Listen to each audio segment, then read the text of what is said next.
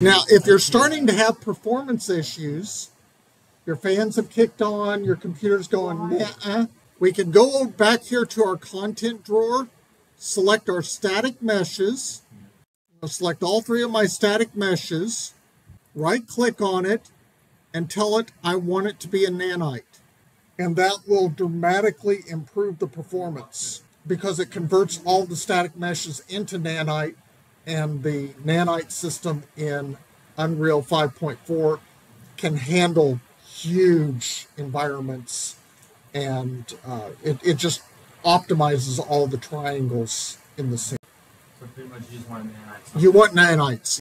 And then it's going to do my shaders, get everything ready to go, give it a second, and we should have a lot better Do performance. you think you could do that with like other FBXs and stuff that you that you imported? Yes, you can do this with other FBXs into a scene if they're dragging down the performance, like rocks and things from uh, Megascans on the Cloner 3. It's all perspective.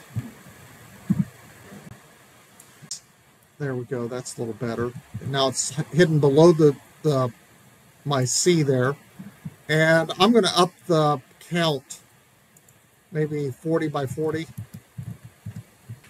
And you can see it is there. It's below the the, the random.